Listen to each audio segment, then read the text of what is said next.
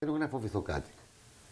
Ε, ξέρω ότι ε, λέει ο καθένα, λέει ας πούμε, όπως λέω και στο βιβλίο μου, για την αλήθεια του κα, κανείς αξίζει να πεθάνει. Δηλαδή, όταν είσαι αληθινός, όταν ε, δεν έχεις να φοβηθείς κάτι, ε, γιατί αυτό που κάνεις το, το, το αγαπάς και ξέρεις ότι θα, είσαι, θα προσπαθείς να είσαι ό,τι δυνατόν ακριβοδίκαιος γίνεται, ήξερα από την αρχή ότι δεν θα επηρεαζόμουν από καμία κερκίδα. Απ' την άλλη όμως ήθελα την κερκίδα να είναι έτσι. Ήθελα να ζει τον παλμό. Και πολλές φορές ε, δεν θυμάμαι ποτέ ιδιαίτερα στον, ο, γενικά στην Κρήτη ε, να είχα κάποιο πρόβλημα. Ε, δηλαδή, αν μιλήσουμε για, τη, για το γήπεδο του Όφη, που είναι ένα ποδοσφαιρικό γήπεδο, θυμάμαι τότε που δεν είχαμε και τις καρέκλες, έτσι, δεν είχαμε αυτό την, ε, είχαμε μεγαλύτερη κόσμοσυρωή. Κρεμόταν σαν τα σταφύλια οι, οι θεατές.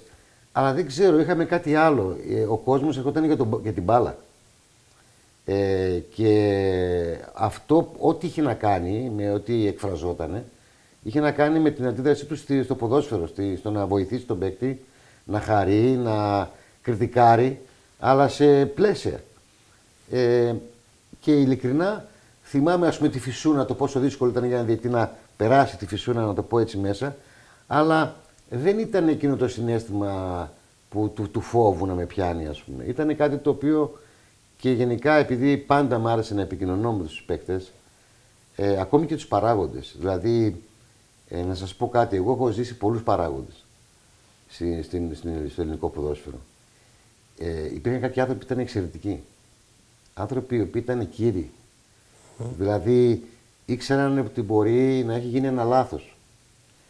Δεν σου λέγανε ποτέ γι' αυτό. Ήτανε δυσαρεστημένοι, Φερρυπίν, έτσι. Ήτανε πολύ ευχαριστημένοι. Δεν ήταν όμως σε βαθμό που να επηρεάζουν την σχέση του παράγοντα με τον διαιτητή. Οπότε αυτό το ένιωσα και, στον, και, στην, και στην Κρήτη. Δηλαδή, ξέρω τέτοιους παράγοντες που θα χαρώ και αν τους δω και, και στην παρουσίαση, όπως είναι ο Παντελής με Κεφαλιτάκης, ο Καζανάκης. Ε, δεν θέλω να. Ήταν ο Νίκος ο Τζόρζολου όταν ήταν και με τον Εργοτέλη. Θυμάμαι όταν έπαιξα εκείνο τον Μπαράζ ε, στην Θεσσαλονίκη, στο Μακεδονικού το γήπεδο, που ε, δεν θα ξεχνάω τον παράγοντα που ήταν πολύ, πολύ καιρό. Ήμουν εκεί σαν ρεπόρτερ πάντως. Λοιπόν, του και έρχεται και μαγαλιάς του, τι κάνεις; Μου λέει, συγγνώμη, κύριο, συγγνώμη. Δεν είναι πράγματα. Το θυμάμαι αυτό. Δεν το περιγράφω στο βιβλίο, γι' αυτό το λέω. Ε, γιατί στο έχω... περίφημο μπαράζα κράτος Εργοτέλης. Ναι, ήταν ένα. Στη Νέα Ευκαρπία. Στη Νέα Ευκαρπία, μπράβο, ναι, ναι, ναι. ναι. Mm-hmm. Και τότε ανέβηκε ο Εργοτέλης Αλφαθνική, σωστά. Ήταν μια ναι. ιστορικότερη στιγμή, δεν υπάρχει ναι, ναι, στην ιστορία ναι, αυτής της ομάδας. Ναι. Μεγαλύτερη Ήτανε, στιγμή.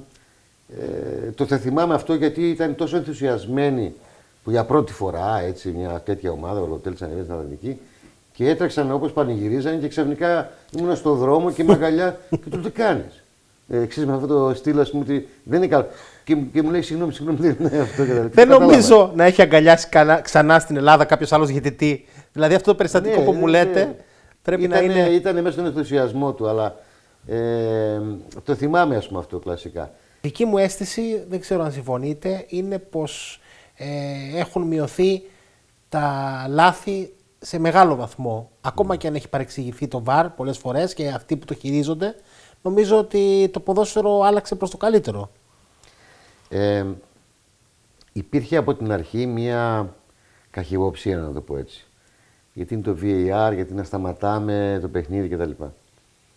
Όταν κάνουμε μια σύγκριση με τα θετικά και τα αρνητικά, και όταν ε, εγώ είχα πρωτοκληθεί να πω την άποψή μου, γιατί πλέον ως παράγοντας, γιατί δεν το έζησα ως διαιτητής, Είχα πει ότι αν κάτσω και μετρήσω και πω ότι έχω κάνει 10 λάθη στη ζωή μου, τα 8 με 9 θα είχαν διορθωθεί με το VAR.